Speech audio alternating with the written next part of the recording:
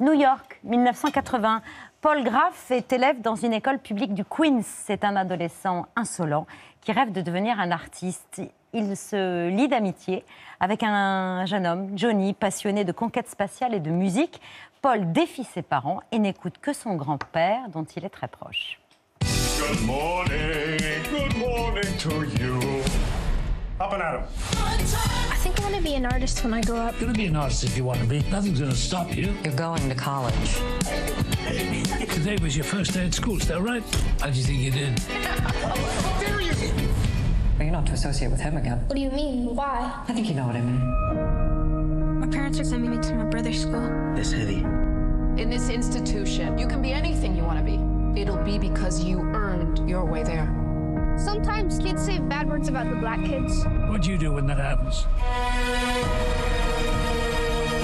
Life is unfair. You make the most of your break and do not look back. Next time those schmucks say anything bad about those kids, you're gonna say something. You're gonna be a mensch, okay?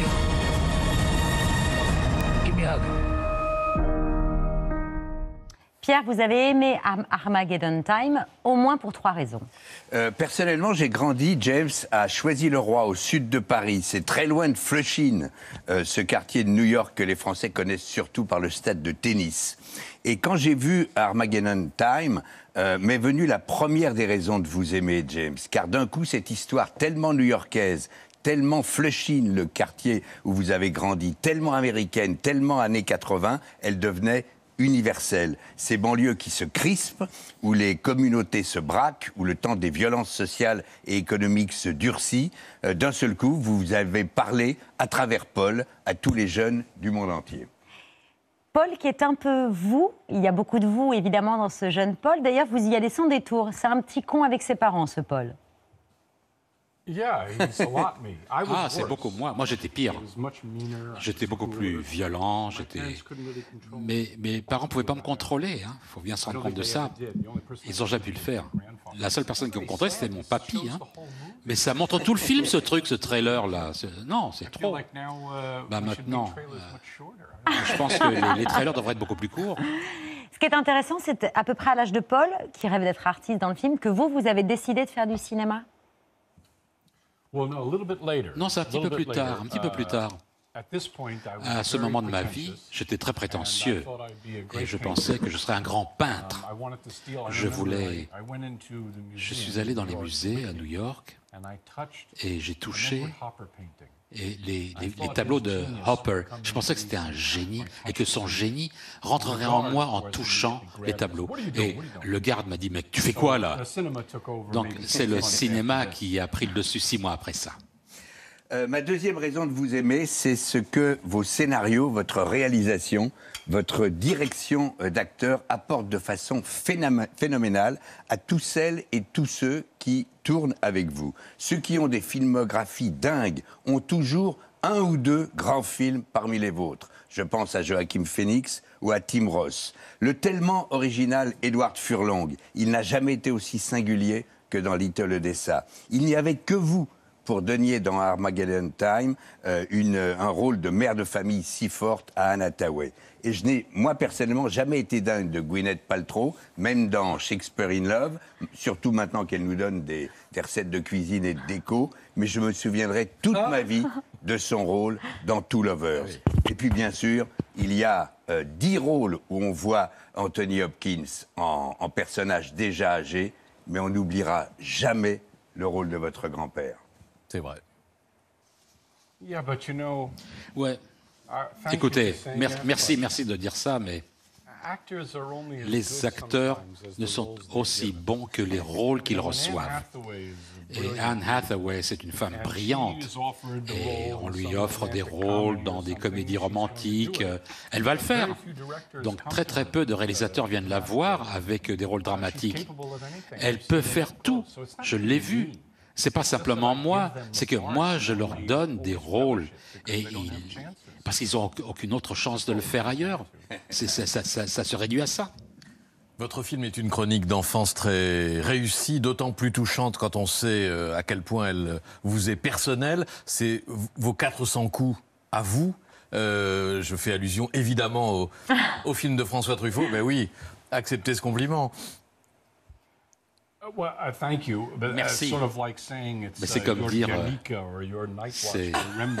c'est- comme la garde de nuit, la robe de nuit de Rembrandt. Attendez, c'est c'est pas, pas équitable. 400 Blows Mais Les 400 coups, c'est le I premier film que j'ai montré à mes enfants pendant euh, le, confinement de Covid. the Je voulais les éduquer sur les cinémas du monde. Mais commencer par quoi? Et c'était les 400 And, uh, coups. My youngest son, my Et mon fils le 11, plus jeune, il a, il a too young. 11 ans, je me suis dit peut-être qu'il est trop jeune. Il a pleuré, il a pleuré. Il a dit que c'est le plus beau film qu'il a jamais vu. So it shows you, it doesn't Donc ça vous montre, 19 peu importe, 1959? c'est quoi C'était en 59 Ouais. Peu d'un, aucune importance. Ça parle tellement directement. Merci, mais vous avez tort. Pourquoi Armageddon Time? Pourquoi Qu'est-ce qu'il y a comme euh, quel quel est le rapport avec la fin du monde dans, dans votre film? Je vais vous dire. I came to Paris Je suis venu à 10 Paris il y a, disons. 10 ans, avant Trump. hein. Et je faisais quelque chose au Forum des Images. Et après de passer sur scène, avant de passer sur scène, le type qui allait m'interviewer, c'est un type adorable. Il m'a dit. Vous êtes américain? Je dis Ouais, ouais. ouais. La dernière fois que j'ai vérifié, c'était ça, ouais. Elle a dit. Vous avez perdu quelque chose? Et ma réaction, Bien sûr, il fallait que j'aille sur scène tout de suite, là. Et je savais pas quoi lui dire. Mais ces mots m'ont dit quelque chose. Et j'ai dû remonter lorsque moi je pensais. Moi j'étais d'accord avec lui en fait. um, I saw 1980 Et j'ai vu les années. L'année 1980 comme une année critique. Mes grands héros c'était Mohamed Ali et les Beatles. and Muhammad Ali Et Mohamed Ali a perdu in un match 1980. terrible en Lennon 1980. was murdered John Lennon a été assassiné cette année-là. Ronald. Reagan est devenu président. Notre premier acteur qui devenait président. Et la culture a vraiment changé. I was trying to Donc moi j'essayais de mettre talking mon histoire personnelle. Enfin moi je parle trop, hein, non Personal story along J'essayais de mettre ma, mon histoire personnelle dans cette tapisserie I know immense. this makes no sense, Je but sais que ça n'a pas beaucoup de director, sens, mais en tant que réalisateur, reveal on your essaye simplement de révéler son intérieur. J'espère que ça va dire quelque chose à quelqu'un, même, même pas à vous. Bon. Vous avez des liens extrêmement privilégiés avec la France, puisque vous avez été fêté, ce week-end au Festival Lumière de Lyon. Je pense qu'on voilà, ovationné euh, à l'issue de la projection d'Armageddon Time. Vous êtes invité à chaque festival à Cannes, dont le président euh, est, est assis à vos côtés. Pourquoi vous aimez tant la France À part euh, le cinéma de Truffaut, mais aussi de Chabrol, que vous connaissez particulièrement? C'est le cinéma qui vous a amené à la France ou, ou autre chose Why do I love France? Pourquoi est-ce que j'aime la It's France weird for an American. C'est dingue pour un Américain. France is like La Disneyland France, for c'est comme grown-ups. il y a un Disneyland pour des adultes.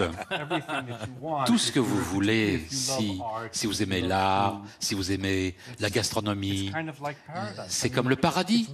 C'est dingue, question. vous me posez cette question. I can't really Moi, je ne peux pas vraiment répondre et vous dire ce que je n'aime pas ici. J'aime la nourriture.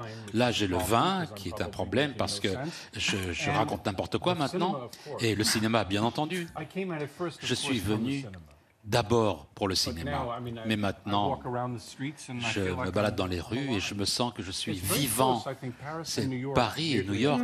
Vous savez, c'est comme euh, frères et sœurs, d'une certaine manière. Je ne sais pas New York. si vous avez senti ça si vous allez à New York. C'est très très proche. On est d'accord.